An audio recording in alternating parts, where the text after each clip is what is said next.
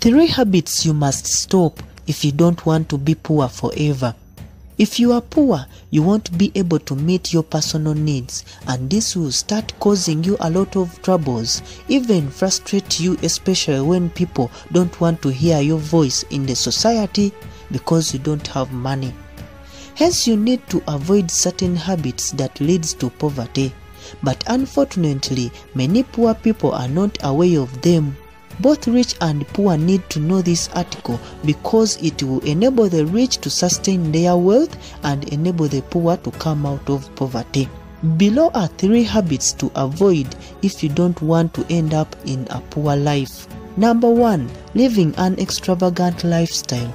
There are people who earn little salary and yet they live above their ability and power financially.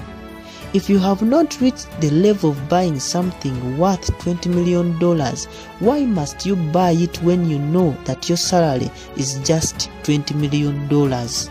The main reason why some people are in poverty is because of their insatiable crave for extravagant lifestyle.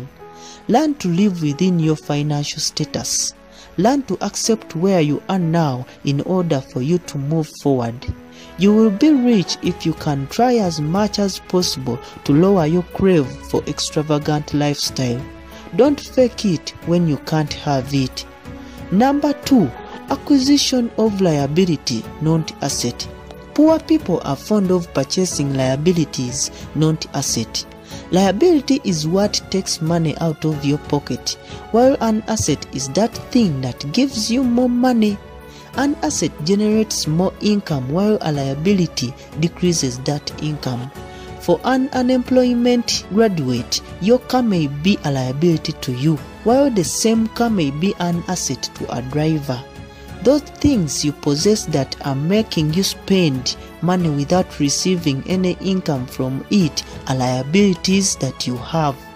Strive hard and invest in assets. Stop buying things to impress people. When you purchase items based on necessity and the ability of that thing to generate income, then you are ready to be free from poverty. Number three is inability to save.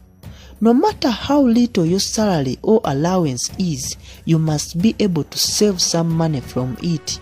Ability to save shows your level of discipline.